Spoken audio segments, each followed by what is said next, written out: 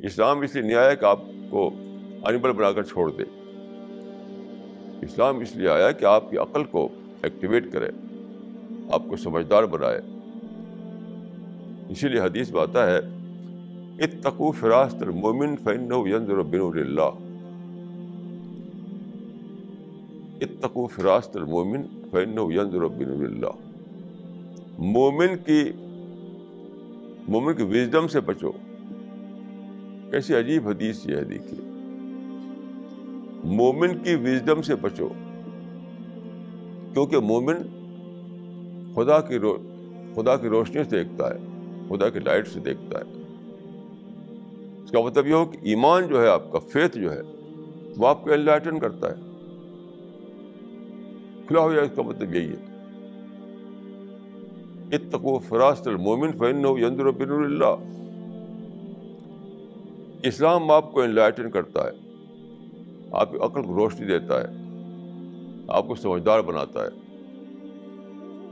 आपके अंदर ये सलाहियत पैदा करता है कि आप चीज़ों का रीज़न आउट कर सकें। इसमें मैं एक बात यह अर्ज़ करूँगा कि देखिए रीज़न आउट करना क्यों लोग रीज़न आउट नहीं कर पाते? कंट्रोवर्शियल चीज़ों को। आज ही एक बात मेरी समझ में आई। उसमें मैंने एक पेज का मजमून आज ही लिखा है। बहुत पुराना एक मसल है कि एक चुप हज़ार बला टालती है। बहुत पुराना मसल है, एक चुप हज़ार बला टालती है। यह मसल डिफरेंट शब्दों में हर हर लैंग्वेज में मौजूद है। हर जगह कहीं ना कहीं इसका एक मसल ऐसी मौजूद है। हर, एक चुप हज़ार बड़ा टालती तो आज मैं सोच रहा था एक साहब टेलीफोन आया उसी पर ये, ये सोचने लगा मैं कि क्या वजह है कि सब लोग जानते हैं इस मसल को इस सेइंग को?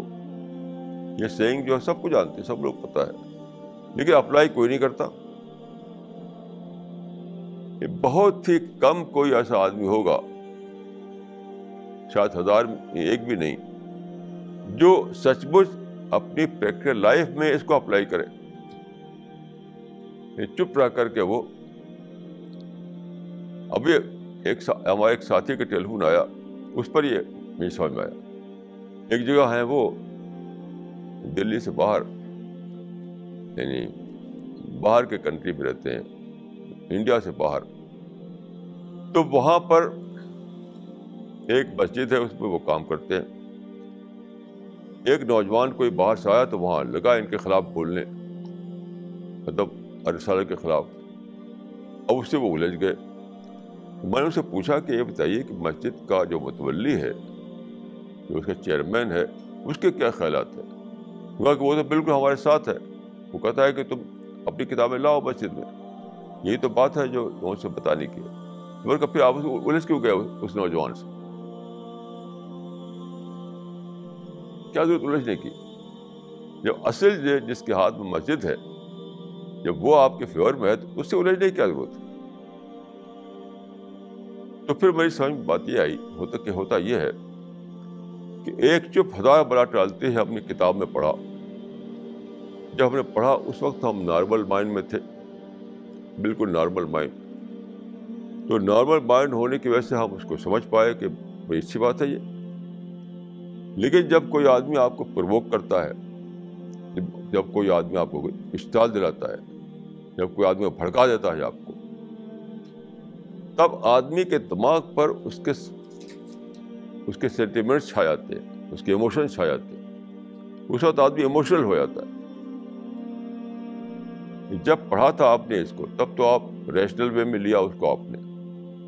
लेकिन जब कोई प्रैक्टिकल चीज़ पेश आई तो वो वक्त था जब कि किसी ने भड़का दिया था आपको, किसी ने प्रोक कर दिया था आपको। उस वक्त आप सेंटिमेंटल हो गए थे, उस वक्त आप इमोशनल हो गए थे। तो जब आप इमोशनल हो जाते हैं तो उस वक्त आपकी अकल दब जाती है, कुछ देर के लिए। उस वक्त आप सोच नहीं पाते कि देखो ये मसल है, उसको यहाँ अप्लाई करना है। उस वक्त आपके जहन में क्या आ जाता है? ईट का जवाब पत्थर से।